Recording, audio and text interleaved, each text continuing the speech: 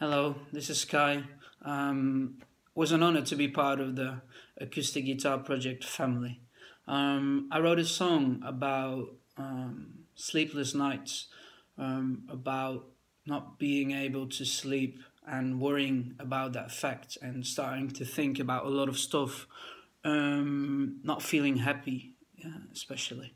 Um, everybody knows that feeling, actually, I think, but in the past I had a lot of problems uh, with sleeping uh, in general, um, and I've just been traveling through Japan, and I haven't sleep I haven't slept for like two weeks, um, and that was a shitty thing. But Japan was amazing, though. But um, yeah, two weeks not being able to sleep wasn't a good thing at all. Uh, and you start to think about a lot of stuff um, you start overthinking, and yeah, it's not a good thing. And basically, this song is about that.